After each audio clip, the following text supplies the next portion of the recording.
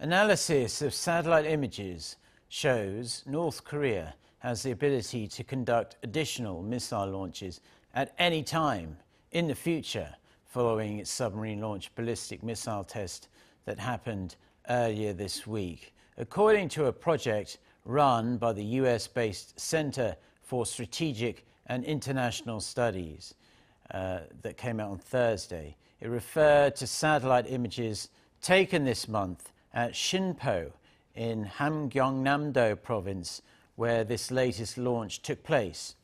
It also confirmed that the submarine used for Tuesday's test was the same one the regime deployed for the launch of the Bukguksong 1 in 2016.